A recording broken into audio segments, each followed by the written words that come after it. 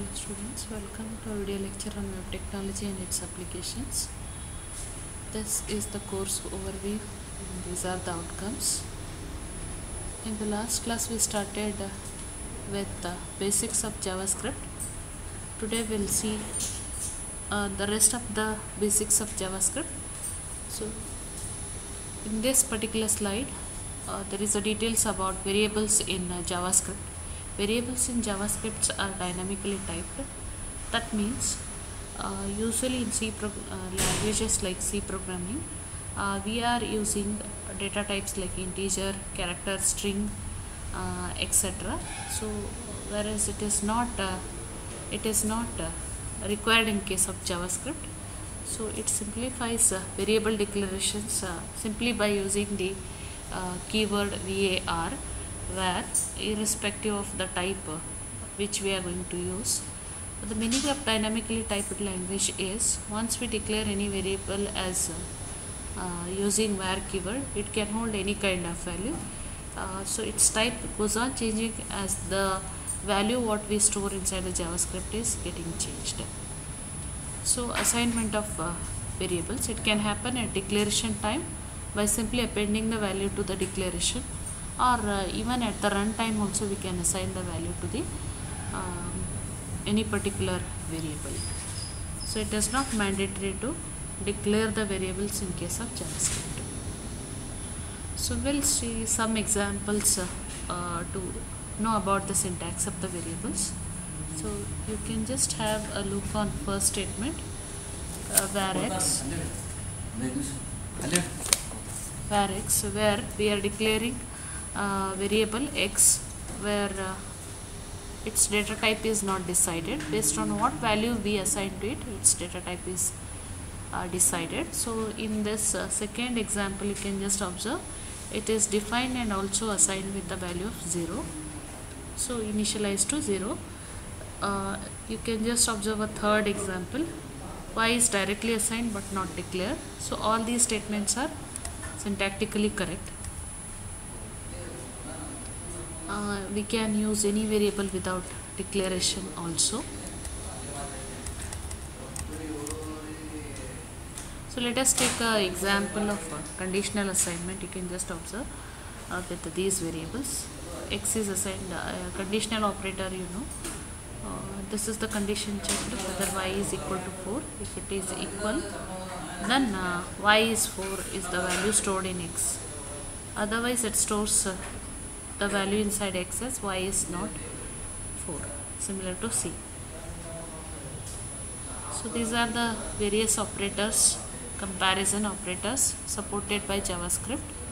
Most of them are similar to uh, c operators except uh, triple equal to this is exactly equal to where it is also comparing the type of the uh, variable as well. You can just observe uh, x equal to 9 uh, in double quotes. 9 is in double quotes. So here it is checking the type also and returning false because x is assigned with the numerical value. Whereas if you are using a um, uh, is equal to 9 directly it is returning true. So opposite to this we have a not uh, double equal to. It is typing uh, it is returning uh, false. If one of them is false that is either the value or type is false then it is returning false. Okay. So not uh, double equal to 9 e is a true. Not double equal to 9 is false. So it is matching the type as well. So these are the two new operators that we come across in uh, javascript.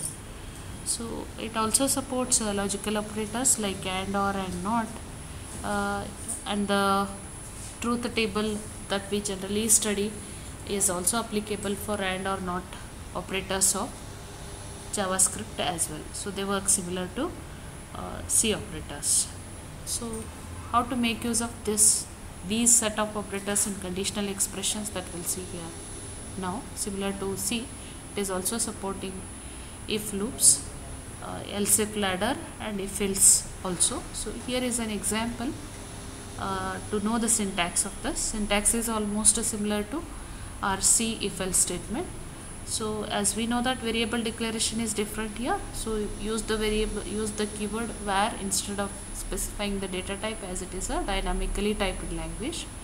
We have a if statement. We are doing a comparison.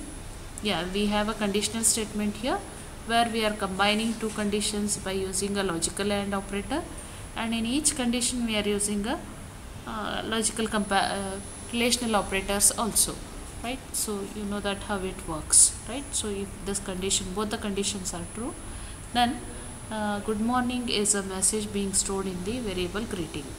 Uh, otherwise it is again making a condition checking that hour of the day should be greater than equal to 12 and less than 20 in that case it is storing the message as good afternoon. Otherwise it is uh, stored with the message as good evening so one common uh, uh, difference compared to C is uh, irrespective of whether a block has single statement or multiple statement all the time we are using the uh, curly brackets mandatorily in case of JavaScript. Whereas in C you know that if there are multiple statements then only it is mandatory otherwise is not required. It is an optional otherwise right? So that is not the case with the JavaScript. So that is the only change uh, in syntax compared to C. Loops uh, like conditional loops are also supported by JavaScript. Here is an example of a while loop right? So is having exactly the similar syntax of the C. As I said only changes. Whether there is a multiple statement inside a loop or single statement we must use the uh, curly brackets so is again testing the condition. If the condition is true it is entering into the uh, loop body and executing the statements inside the body of the loop. So it also supports for loop.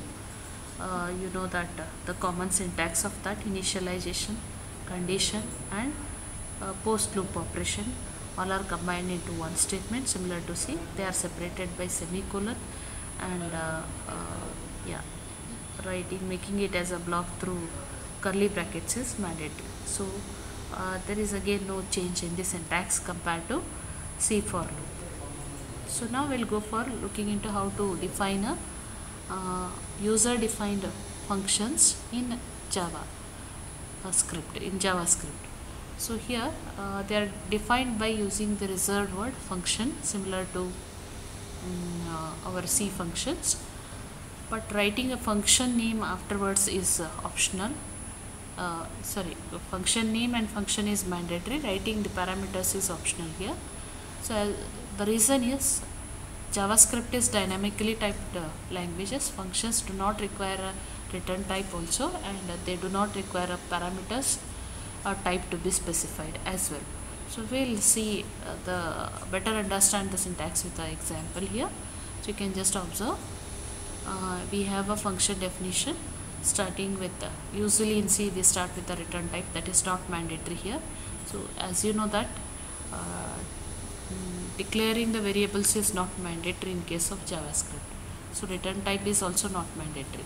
So when you have this condition in any of the language, whether it is a JavaScript, Perl or PHP or any other general purpose programming language also, when the language says uh, it is not mandatory to declare the variable, so obviously function will not have a return value to be specified mandatorily and uh, parameter types uh, mentioning is also optional in this case.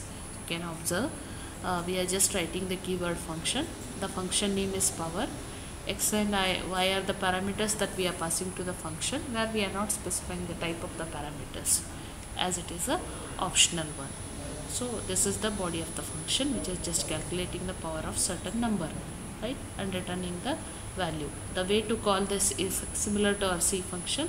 Uh, this is the way we call right power is the function and 2 comma 10 right these uh, 2 is copied into x and 10 is copied into y. So this is how we write the functions in JavaScript. So we'll see